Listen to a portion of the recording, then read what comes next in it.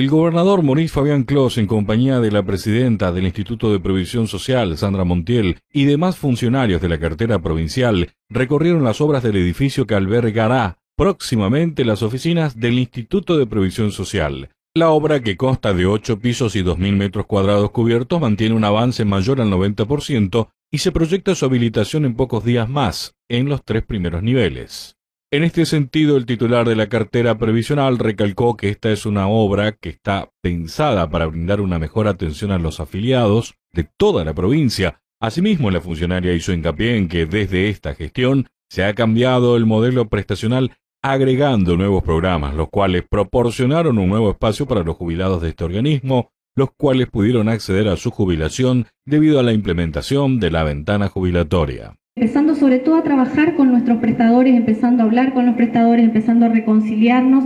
en esto de que entiendan eh, que tenían que volver a confiar en nuestro querido instituto y que tenían que volver a apostar a que íbamos a hacer las cosas bien. Y despacito fuimos mejorando y mejorando las prestaciones y fuimos mejorando también los honorarios de los profesionales y fuimos eh, garantizando los pagos todos los meses y despacito también empezamos a avanzar en otras cuestiones cuando nos fuimos animando y fuimos fortaleciéndonos de nuevo como institución. Finalmente, el titular del Ejecutivo Provincial sostuvo que la gestión tiene aciertos en cada una de las áreas, y este resultado se debe a una buena administración a lo largo y a lo ancho de la provincia en cuestiones previsionales. Por otra parte, Clos también reconoció la amplia apertura y acercamiento al afiliado, los cuales se vieron beneficiados con cosas y servicios a la vida cotidiana, en la visión estricta de criterio de justicia del Estado provincial. Y este es el resultado de una muy buena gestión que se tradujo en obras y en inversiones a lo largo y a lo ancho de la provincia. No voy a decir cuántas, veo 92 plazas saludables que llegaron con ese criterio en cada pueblo, obras sencillas, pero que para un pueblo pequeño son trascendentales o para un barrio de posadas. Y las farmacias y los laboratorios, en ese concepto que muy bien ella explicó, de entender con una visión territorial la gestión de gobierno,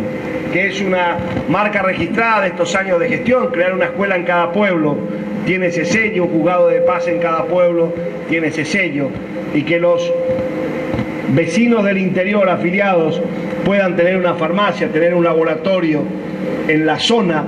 tiene que ver justamente con esa visión territorial de nuestra provincia y que además yo creo e insisto que hace al equilibrio demográfico de la provincia de Misiones. Una de las características que tiene nuestra provincia es que tiene 75 municipios y todos creciendo y que dentro de una sociedad como la nuestra